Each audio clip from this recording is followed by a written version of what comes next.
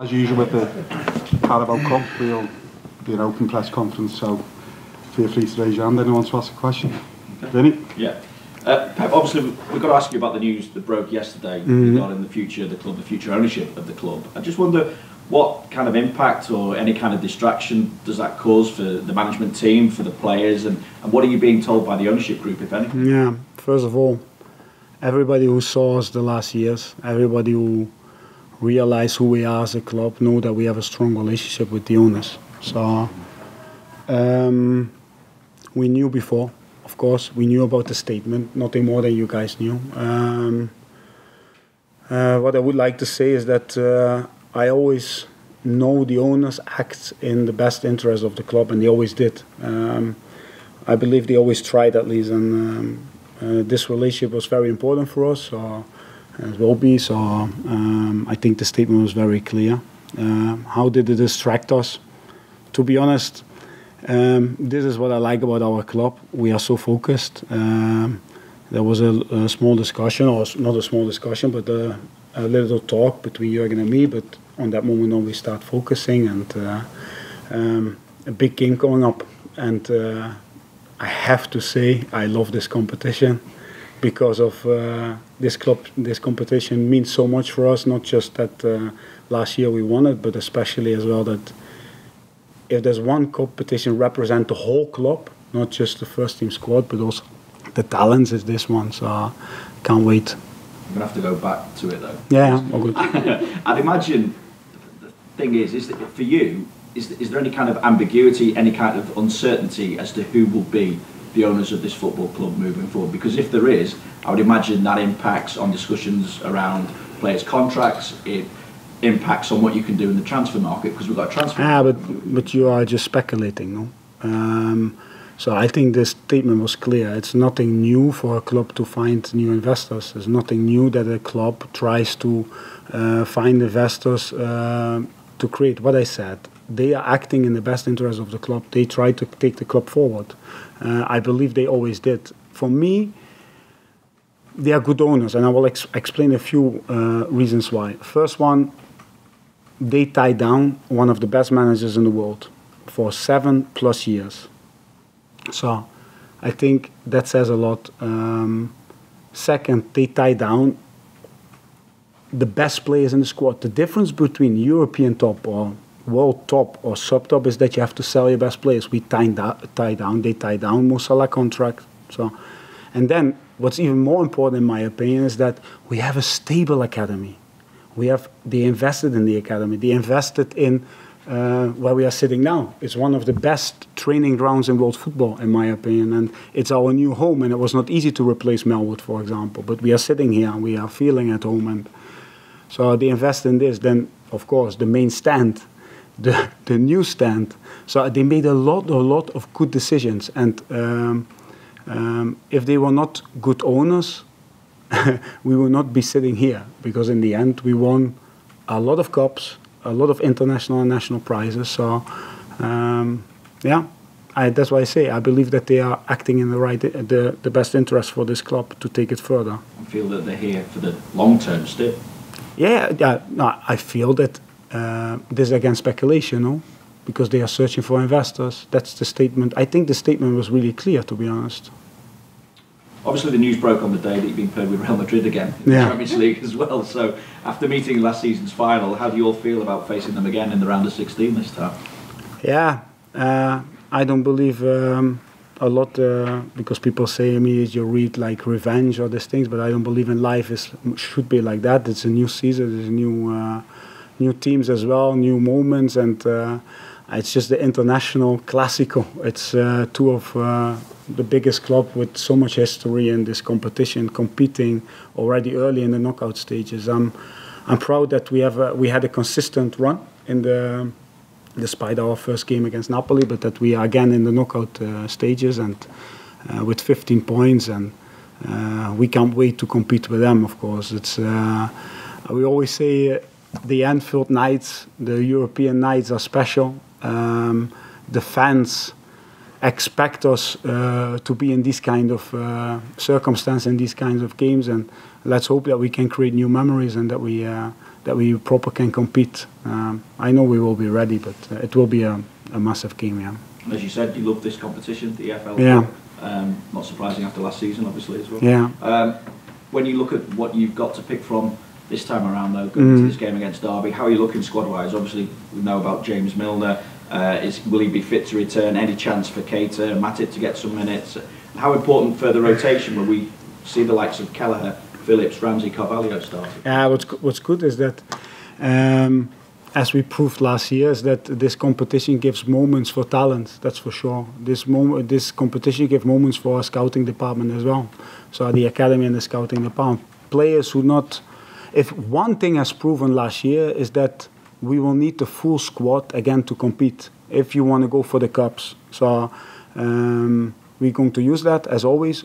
Only reason is because we want to play with full power. We want to go to the second gear basically, and uh, or even third gear, and we feel that's possible with the team we selected and created. Um, um, but again, going back to Derby, I know that they are being in a, in not an easy period, not an easy uh, moment. But um, Paul, one thing is for sure: if you look back to Rotherham, for example, the players run through brick walls for him, and um, he's a coach who plays, loves to play with a line of five, but um, he has a few injuries in the in the in the back line. So probably I'm not sure. He, he played with the back four now last time. So what we can expect is uh, a mixture of talent with. Uh, with Sibley, with Owen, with uh, and Collins as a target man, and um, so yeah, we expect this uh, kind of game tomorrow. So we need to be uh, ready. That's for sure. But going back to last year, Leicester, for example, when we were three-one down, if you heard the stadium at this moment, how they supported the young boys and the kids, or the kids, how Jurgen says, but the talents, the ones who will win cups later on for us. What I'm trying to say is that uh, we need this environment again, that we can chase, that we can hunt in packs, that we can get the ball back. Yeah. Juliet? Um, so listening to you then, everything's okay, business as usual, lines Yeah. of communication open with the owners. Um, the competition itself has always, well, it, it's produced some some really magical, Mhm. entertaining nights Yeah. at Anfield. I'm thinking Arsenal, you mentioned Leicester as well. So what kind of um, atmosphere do you think it will create tomorrow night?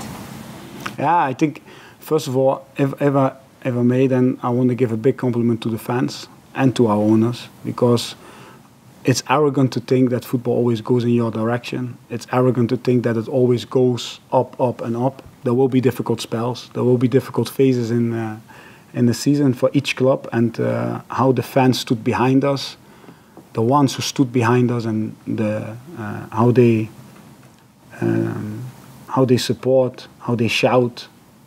Uh, we will pay them back. That's for sure. They love a penalty shootout as well. Sorry. They love a penalty shootout Yeah, as well. we were good last year, no? nah, nah, and a compliment to the owners as well. The stabi- this, this stability is really important. That's why Jurgen is here for seven plus years. That's why we signed a new deal. Uh, we knew, and we are not arrogant to think that we always will be top, but uh, we know that uh, our players never stopped, uh, have this commitment, never, never stop developing, never stop fighting to find their form, to find uh, our form. Yeah. And I know that you said, um, well, Jurgen said after the, the win at Tottenham on Sunday, it, to have that feeling back. I know people talk about the Premier League away win and everything else. but Yeah. I expect it to be a different, a different side to Yeah. what played at Tottenham. But when you talk about this competition being for every player involved, to have that feeling back, to give them back to that those players as well. Yeah, we know we know that a player with confidence or a player without confidence is not the same player. So the support from outside, so Shankly said, no, you support us. Um, you have to support us in these times. Otherwise, don't support us when we are in the parade or when we are when we are winning. Support us now, and that's why I say that they do. And if you see the away game against Tottenham, how they celebrated this win, and the second half, how they were still uh, shouting us to get us out of our own half. Um, yeah, I, that's probably what I like the most about football is that this relationship between fans and manager or team and can create something really good. And it's uh, it's not easy when it doesn't go your way, but uh, with a little bit help here and there, you can come back. Carl? Hey. Positive results this season has been a bit up and down. I'm just wondering, were you aware of, of the criticism that you received for your book saying you've mm. given away some of, some of the secrets? People are reading too much into that. But did you, were you aware of that and what, you, what was your response? Nah, at the moment, uh, first of all, uh, no regrets. Huh? I enjoyed every word and every. Uh, ev everything what was written down. The moment it was published, for me, it was done. It was the past. It did that any interest, to be honest, because a new season, new problems, blah blah. Um, I I hope that uh, that people enjoy it. I know that a lot of people do because uh, from the inside and the outside I get good reactions. Uh, but you guys know really good that if you write something, there will be people who like it and there will be people who don't like it. So uh, that should never stop you to do these things, in my opinion. I'm proud that there's a book that gives inside information, and not as much as people say what will harm. So there's no relationship with that. Um, but I um, I hope that fans um, that they could read the admiration I have for this club, the feeling for the team, the love for Liverpool, and uh, if I if it inspires a few, I'm already happy. So, but the reaction have been good. And if you don't know what to give for Christmas present, please buy it for your bitter uncle. Yeah. I'll, I'll get off football Yeah, please. Um, uh, we sat here week after week and listened to Jurgen trying to explain what the what the issues were this season. Obviously, from your technical point of view, can you give us an idea of how, how you see what's what's been the problem this season? Yeah, we had really highs and really lows. There's the reason. There's a reason why we were not as consistent, of course. But if there was one reason or one simple explanation, that's uh, that's too easy, of course. Or um, we started the season insane with the Community Shield, in my opinion, what represent our preseason, what was uh, up to speed, where all the boys were really fighting, and uh, we had a good start in that way. Um, but if you look to a general point of view, is that when you get early 1 0 down, uh, when they have a uh, not a slow start, but uh, probably a start where the opposition punish you straight away, um, then your offensive game has to be really good. You cannot create doubt when the ball moves from left to right, when you bring the ball high up the pitch. And uh, we know from the past that teams try to exploit our high line, that teams try to exploit us in counter attacks where you leave space. Um, so, uh, with these moments, 1 0 down, chasing the game, um, we all know that the team is uh, the team is different. If you then don't have a lot of points, it becomes even more difficult because players get nervous and make probably a few bad decisions, or uh, we are not as protected as well because everybody wants to contribute. And um, it's good that uh, that we could correct a few things. It's good that we had to uh, that we could um, could go back to basics and put like proper solutions in. Um, but um, I'm happy where we are now. To be honest, uh, it feels like uh, with the Champions League campaign and with Tottenham and uh, the way we are playing, it feels that we are every time a little bit closer to who we really are. Um, what I said, uh, we will pay the, the, fans back because they don't stop believing, don't stop shouting, even when we uh, lost the game. So, yeah. Paul Joyce? Yeah. You said earlier about um, the owners tied down, mm -hmm. the best managers in the world when yourself and Jurgen signed the contract, was it in April? Was it on, on the on the stat on the belief that you'd be working with these owners for the foreseeable future? Yeah, of course. You sign a deal with Liverpool Football Club and their owners, but we are not naive to think that things change in football. yeah. That's that's how the football world, uh, football world works. But uh, um, as I said, our our relationship with them is is very very good. Uh, I respect them so much. You have no idea. I, I hoped you guys, with my answers, uh, that I could transparent that. So um, it's um, yeah, that's my answer, to be honest. Yeah. And, and, you said um, about the, the, statement that clubs look for new investors all the time. So is it your understanding that it's new investors rather than the sale of the club? No, I, I, everything what I know is what you guys know. I should ask you guys the question probably because it's it's in the statement. It says very clear that they are searching for investors. That's what we knew. That was what we knew probably one and a half week ago or something. We thought it would not come out now. It come out now, so that's all fine. Um, what I said, what I like about this club and about our structure, that we used to, um, how can I say, uh, rumors around or uh, uh, unfair or what, what, whatever. We focus on what matters, and what matters is preparing for Derby because we want to go and compete in this cup, in this competition. We want to do the same as last year, go far and try to try to reach with to reach Wembley. So our focus goes to this, and we know that um, um, um, that with putting the players the players tomorrow together on the pitch with experience, with talent, we again creating a new generation of, of, of, of players, and that's what is in our mind. The rest we don't have control anyway, so why would we? Yeah, go on. Um, which which youngsters could we see in the squad tomorrow? Ben, Doak. Yeah, I don't. I can't give this. If you if you if you know us, and uh, you you know us very well, the. Uh, we have we have so much different talent, so much different kind of players who are young, and probably it excites me much more than you. But it excites me to see a new generation. If I see Caoimhin celebrating in Wembley, taking the last penalty, seeing the cup competition he did when he was 15 when we signed him, he was my goalie at that time, and I see and we meet after the game and these moments for me mean 10 times more than even winning the cup competition. To, to see a young boy become a man and a man with personality and a man who can compete and takes the bravery to take example last he needed to take the last penalty but shoots it he was a, in the past he was a striker. That's why he shoot a top corner. But and to create memories with a young team with a young squad and using the academy like this I think Liverpool Football Club, if you work for this club, you have to you have to trust young players because the generations before made this club. So we have to create again this kind of environment where young talent can step up and be decisive. So of course we're going to see them because it would be idiotic not to do because um, the talent is huge and otherwise all the time all the energy, all the money we invest, also our owners and staff and first team staff and academy staff, and it doesn't make sense to have 200 young boys there running around and then not use it.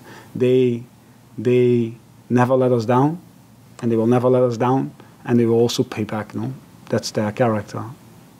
And we're going to see Scousers hopefully, and we're going to see Scousers hopefully. Huh? That would be even. Can you imagine the Scousers scoring in front of the Kop again. Yeah. It's a good thing. Dominic? Okay. Um, yeah. on, on that theme, one of the um, sometimes a criticism of the owners is that they they don't spend enough on players, and it gets talked about net spends and, and where Liverpool are. Mm. Where you talk about um, bringing players through, that's that's the thrill of it, isn't it? It's not it's not about yeah. spend, spend, spend. One one influences the other as well. So if you buy a lot, a lot, a lot, young players don't get a chance. But there's also the type of player you want to buy. I think we invested well. I think um, um, uh, if you look to our last years, uh, bringing Luis Diaz in the winter was a massive signing and needed. I said it was like water in the desert, this kind of, to give this last push towards the Cups and towards the. So uh, Darwin will be a good signing for me is already a good sign, but will be a good sign. So young, so hungry, can create five chances by himself in the game. Uh, a proper striker, addition to what we didn't have, the type. Um, then you have Calvin, you have Fabio, young players who come in as, as signings. Then before that, uh, Ibou Konate, Jota.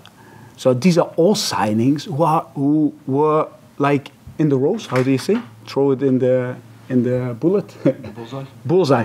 What, what I'm trying to say, we cannot afford to buy and not be right.